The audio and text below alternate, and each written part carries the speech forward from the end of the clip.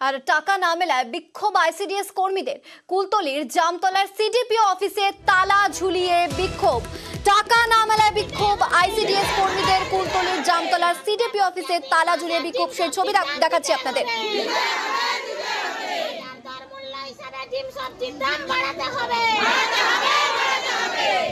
উপস্থিত হতে হবে প্রেসিডেন্ট সাহেবকে উপস্থিত হতে হবে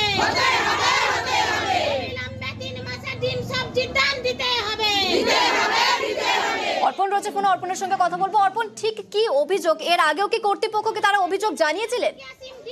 একাধিকবার অভিযোগ জানানো হয়েছিল যে কুলতলি বিধানসভা কেন্দ্রের নটি গ্রাম পঞ্চায়েত রয়েছে। সেই গ্রাম পঞ্চায়েতের যে আইসিডিএস সেন্টারগুলো রয়েছে, তারা দীর্ঘদিন, অর্থাৎ তাদের যেটা অভিযোগ, তিন থেকে চার মাস তারা মিড ডে মিলের জ্বালানি, মিড ডে মিলের সবজির টাকা এবং ডিমের টাকা তারা পাচ্ছেন না।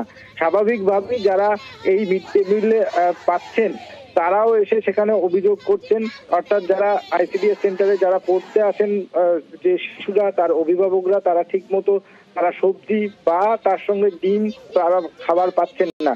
এবং তাদের যেটা অভিযোগ যে দীর্ঘদিন ধরে বিভিন্নভাবে বিভিন্ন দপ্তরে জানিয়েছেন কোনো রকম তারা সুরাহ পাননি। অবশেষে জামতলার যে সিডিপিও অফিস রয়েছে সেখানে তারা এসে বিক্ষোভে সামিল হন।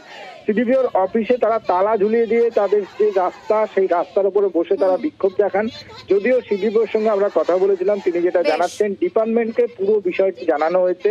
টাকা আসছে না তাই তাদের তাদেরকে টাকা বকেয়া রয়েছে সেই টাকা মেটানো হবে। আসছে না বিভিন্ন জায়গায় বিভিন্ন বক্তব্য নিয়ে বিক্ষোভ। সিডিপিও তিন মাসের সবজি বিল বন্ধ করে রেখেছে আমরা চালাতে পারছি না। এক একটা দিদিমণি দুটো তিনটে করে সেন্টার দেওয়া আছে। আমরা চালাতে পারছি না। জ্বালানির দাম বাড়া, সবজি বিলের দাম বাড়া, ডিমের দাম বাড়া, তিন মাস বাকি আছে। আমাদের প্রত্যেক মাসে আমাদের সবজি বিল পেমেন্ট দিতে হবে। জ্বালানির দাম সেপ্টেম্বর মাস পর্যন্ত দেওয়া হয়েছে। অক্টোবর, নভেম্বর, ডিসেম্বর এখনও বিল পাইনি। কারণ এটা অ্যালটমেন্ট আসেনি। অ্যালটমেন্ট ডিস্ট্রিক্ট আমাদের ডাইরেক্টর থেকে আসে। এখনও পর্যন্ত অ্যালটমেন্ট আসেনি। অ্যালটমেন্ট না আসার জন্য ওনারা বিল পেতে দেরি করছে। হয় এটা একটা সমস্যা আছে। সমস্যাটা আমি বারবার জানিয়েছি। আমাদের ডিস্ট্রিক্ট থেকেও জানিয়েছি। আমরাও জানিয়েছি।